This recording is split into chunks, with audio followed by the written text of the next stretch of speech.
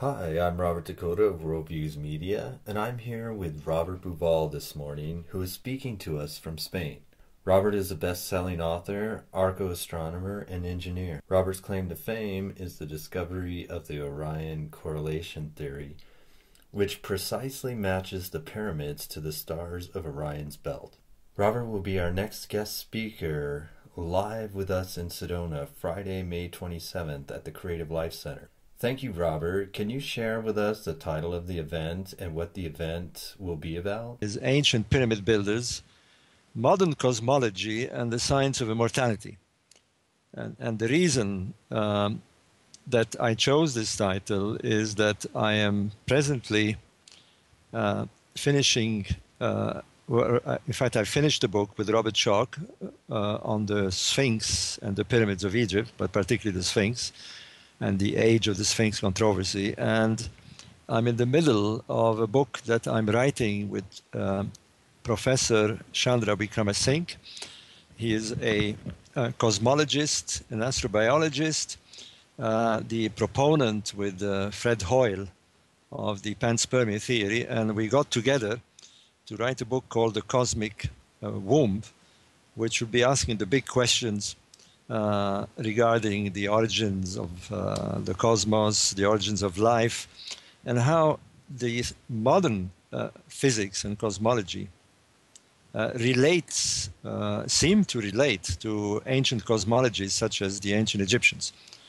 So that's essentially the core of my talk. regarding the the the pyramids of Egypt, which I have been studying for the last 30 years. Uh, as uh, you know, Robert, I'm uh, I'm known for the um, developing the Orion correlation theory. Yes. The, the three pyramids of Giza are a earthly uh, model, if you like, of the um, of the three stars in Orion's belt. Uh, this theory has been debated over the last 30 years, and I'm pleased to say it has been uh, unable to be falsified by uh, finally by university um, uh, and astrophysicists have examined it uh, in detail. So the, the theory holds very well. Uh, the latest view uh, that I have on the pyramid, particularly the Great Pyramid, the, the pyramid of so-called King Cheops, uh, is that it exhibits two uh, very important uh, qualities. One is, of course, the astronomical qualities. It's obviously designed to uh, to have astronomical input. It's uh, aligned to the four cardinal directions. It has shafts that point specifically to to stars, and particularly Orion's belt, and it forms a pattern with the other two pyramids uh, representing Orion's belt but it also has a mathematical um, quality, and, and that is very interesting, particularly in mathematics that deals with prime numbers. Uh, the number 11 and the number 7 is repeated uh, throughout the design of the pyramid. It's been studied, by the way, by my brother in great detail over the last 30 years. When you think of a, a monument or anything that exhibits astronomical qualities, giving a direction in the sky. And it also contains uh, prime numbers. Uh, then uh, we're talking about a universal language here. The, the, pyramid seems to be, quote unquote, if you like, pulsating uh, with a message. And I truly believe that it is built for that purpose. It contains a code, if you like, or a message. I don't want to say what it might be, but I'm beginning to think that um, the, the science of immortality that is attached to this monument, uh, there is no doubt at all. We have texts that date from the fifth dynasty, which is the dynasty immediately after the, the, the building of the Giza pyramids, that speak uh, very clearly of a kind of metamorphosis or a kind of uh, conversion of a physical body into some sort of spiritual entity to launch, literally to launch into a star world. Uh, Egyptologists, of course, uh, you know, poo-poo this as being some some uh, superstitious uh, nonsense. But the, the, the, the, scale of the monument, the precision of the monument demands that we take this more seriously. I'm getting the strong feeling. Uh, in fact, it's more than a feeling because of how much uh, I've been investigating this this structure.